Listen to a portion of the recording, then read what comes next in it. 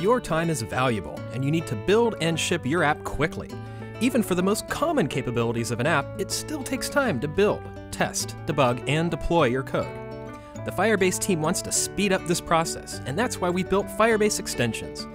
Firebase Extensions are prepackaged solutions that provide extended functionality to your app, and they're written, tested, and debugged by the Firebase team, so you can be sure they work reliably.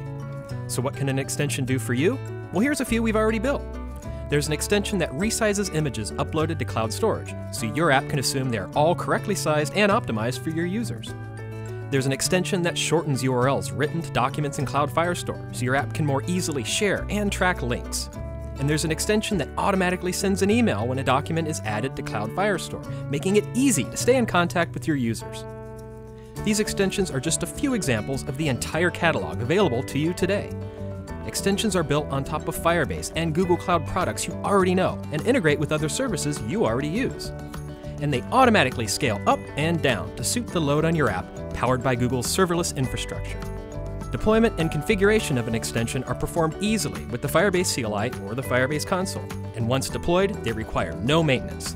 So click through to the documentation, browse the catalog of extensions, and see which ones are right for you. And be sure to check back as the catalog will grow in the future.